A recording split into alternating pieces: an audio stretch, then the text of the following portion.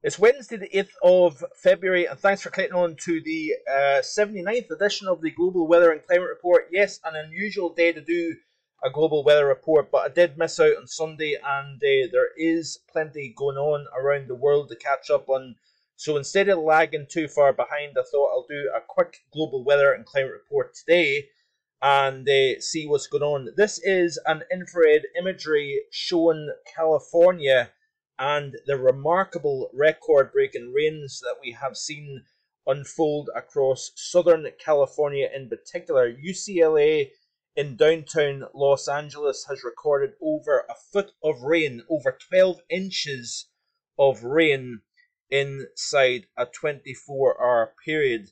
And it's all courtesy of a very powerful jet stream extending from Asia right away across the uh, Pacific and into California. And we are going to see more significant rainfall over the next few days here. So, extreme conditions to say the least. Like I said, this is a tweet here by um, Nahel showing that the U- University of California, Los Angeles received more than a foot of rain, 12.46 inches to be exact, in the last 24 hours as a powerful atmospheric river moves through the region. That's about two thirds of a year's worth of rain fallen within a single day. So dramatic stuff, remarkable stuff taking place in Southern California. And looking at other information here, this is off ABC News.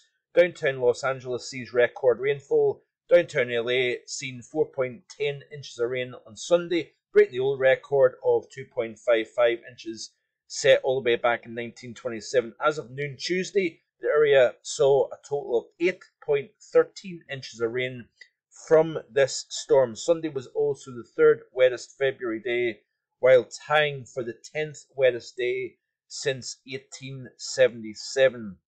The wettest day ever recorded in downtown LA was 5.88 inches set all the way back on the 2nd of May 1958.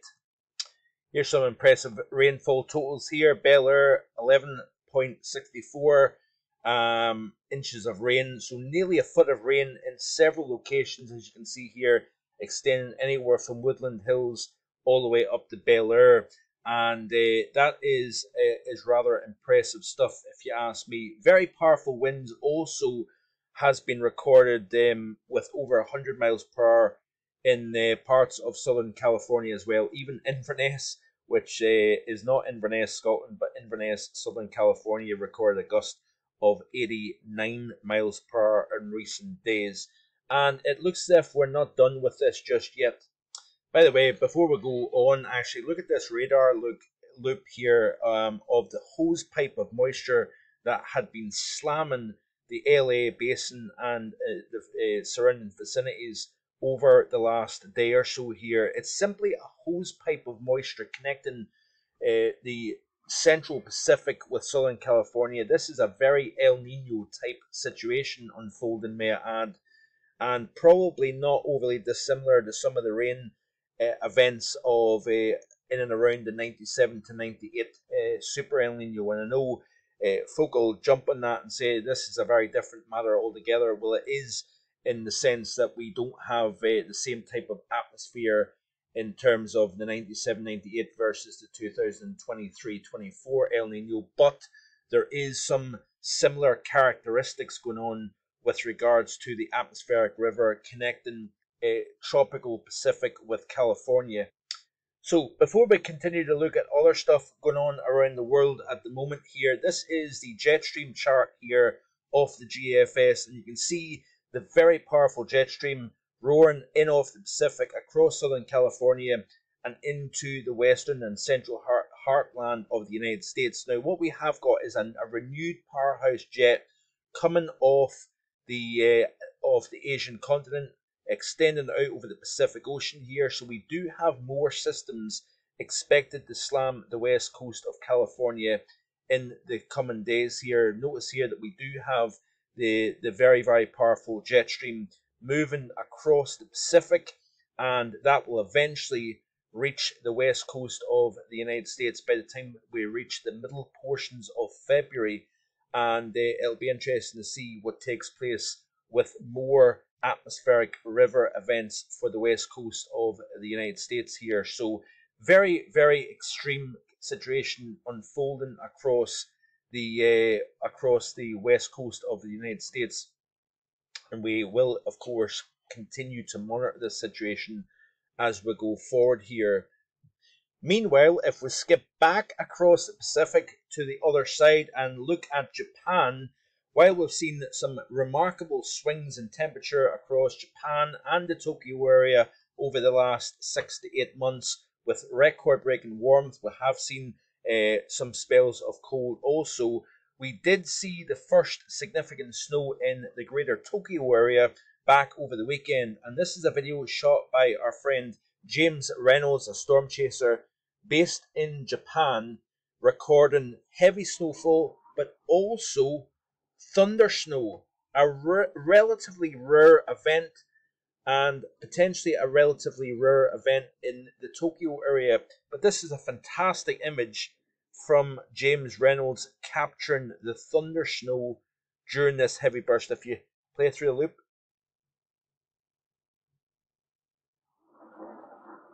and you can hear the crack of thunder in the background. So beautiful scenes coming out of the Tokyo area. I, I did have the pleasure, of course, of, of uh, visiting uh, the stunning country of Japan back in November, and uh, I have to say, I would have loved to have seen the uh, the snow in Tokyo back uh, when I visited, but uh, it was a little bit early in the season. But this is a tweet here by Sayaka. I think that's how you pronounce it. I think that's how you pronounce her name anyway. Uh, but Sayaka um, often tweets uh, meteorological stats from Japan, and uh, this is representative of the 24-hour snowfall that we've seen back during the weekend in the in the central Honshu region of Tokyo, and you can see nine centimeters of snow fell within a 24 hour period in the greater Tokyo area. And we did see some beautiful scenes in and around the uh, city itself with um, folks enjoying the winter landscape of uh, of Tokyo. So you can see another tweet here by uh, Lala Go showing the amazing snow event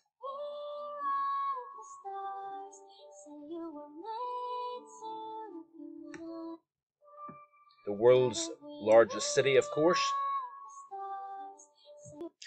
So this, by the way, is Cape Breton in Nova Scotia, Canada. And check out this, a massive snowstorm that took place a few days ago in the Cape Breton and Nova Scotia area dropped an astonishing amount of snowfall inside a couple of days. We had 12 foot snow drifts that essentially paralyzed communities in this part of Nova Scotia. And this was an amazing tweet here sent in by, just bear with me a second, sent in by Adam Hill. So he says that the snowstorm has covered Cape Breton. I have 68 feet of snow in my yard with 12 plus foot drifts. The snow is relentless. We have a local state of emergency and uh, some remarkable scenes captured by Adam Hill. So here's another tweet here by East Coast Drone Man on that Nova Scotia storm. He goes on to say that you know it's bad or good Nova Scotia storm when you have to do this to find your vehicle. This is my sister, Sydney River, Cape Breton, digging through about 100 centimetres of snow. So that car is buried underneath that snow. Just remarkable stuff. Wouldn't it be wonderful to see snow uh, in the, the UK as bad as that? But they, well, we can't can't handle a couple of centimeters. Never mind, uh, you know, a hundred plus centimeters. But uh, we're seeing more scenes coming out of Nova Scotia from the remarkable snowstorm that took place here. Remember that it is only um, you know a very short time ago that we're talking about record breaking warm temperatures in this region of Canada as well. It has been a very very mild winter overall in in not just Eastern Canada, but the majority of North America. So, moving on, we have seen a lot of record breaking warm conditions for the month so far through the first, what, eight days of February. You can see the bullseye of warmest conditions anywhere out with the Arctic over the central swathe of North America here. We do have a lot of warmth extending across Europe and across the majority of northern Eurasia, if you notice here, but below average temperatures, which is interesting across much of China, Mongolia, uh, we have seen some um, cold conditions uh, even across parts of uh, Tokyo, Japan, hence the heavy snowfall that we've seen here. Northern Africa has been very, very cold to start February. We've seen Australia with a bit of a tale of two halves. Northern portions above average, southern portions below average, as you can see here. Remarkable heat ongoing across uh, many areas of South America here, anywhere from Chile, Argentina, up through Brazil and um, the only areas that are really are majorly cold is northern Africa, parts of China, Mongolia.